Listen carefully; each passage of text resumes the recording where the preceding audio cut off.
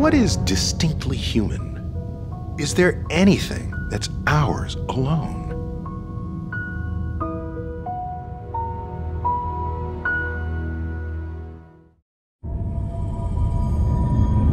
Would our imaginary extraterrestrial observer think that there's anything we do that distinguishes us from every other living thing on Earth? Something that all or almost all of us, of every culture throughout history, have done and still do? Something that no other animal does? Plato was one of the earliest commentators to define what is human. He declared, Man is a featherless biped. When news of Plato's definition reached the philosopher Diogenes, he brought a plucked chicken to Plato's academy, asking the assembled scholars to salute Plato's man. Plato's protege, Aristotle, took another crack at it. He said man is a social animal, man is a political animal. But ants bees,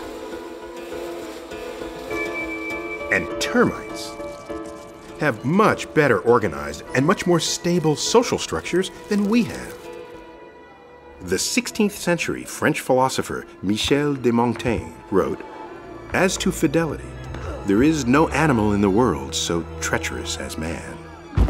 But he never dated a firefly. You know how fireflies blink on and off to attract a female? Well, some males sabotage their fellow fireflies' come on by adding their own blinks. It's like hacking a friend's romantic message to his girlfriend and turning it into an insult. The female gets turned off, and the saboteur now has his chance with her.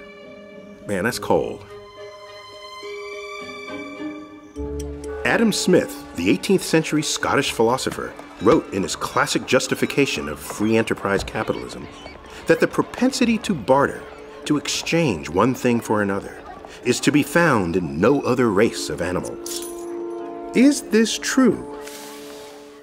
Chimpanzees are fond of trade and understand the idea very well. Food for sex, a back rub for sex, betrayal of the leader for sex, spare my baby's life for sex, virtually anything for sex. Okay, but we're the only species that makes art, right?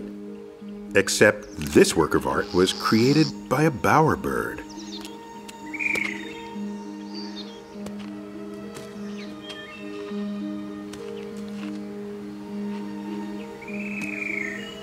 As was this one.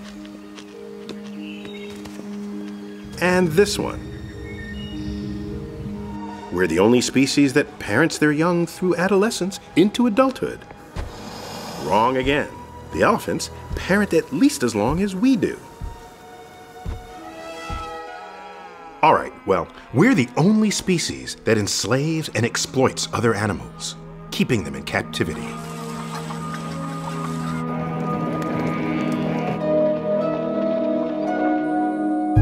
Tell that to this poor cockroach of the African savannah.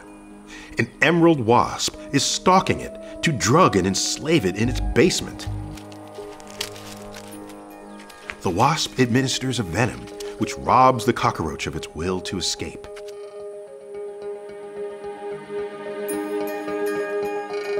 Turn on the lights, and this is one roach that won't scurry away.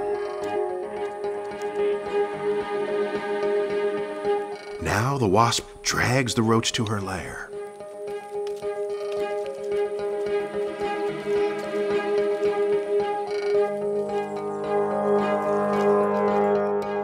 Depositing a single egg on the roach's body.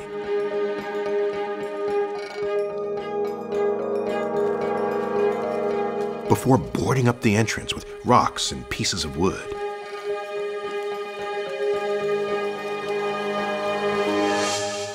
The idea is to keep the roach alive as long as possible so that its organs will remain fresh. The wasp's offspring will bore into the roach's body and feast upon it.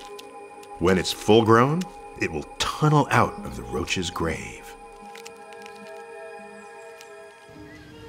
Yeah, but what about using tools? Technology?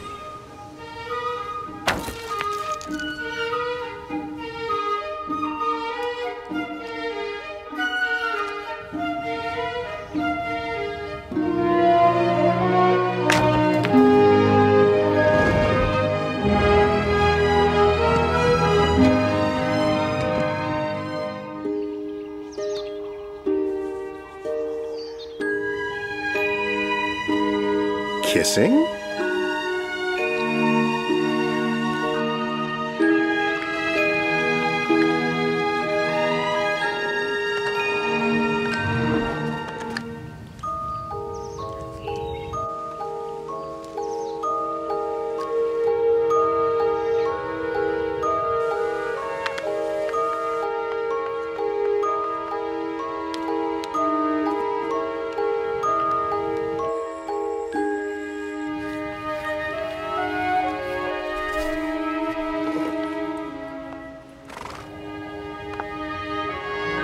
Could it be that, after all, our species' only real distinction is our neurotic need to feel special?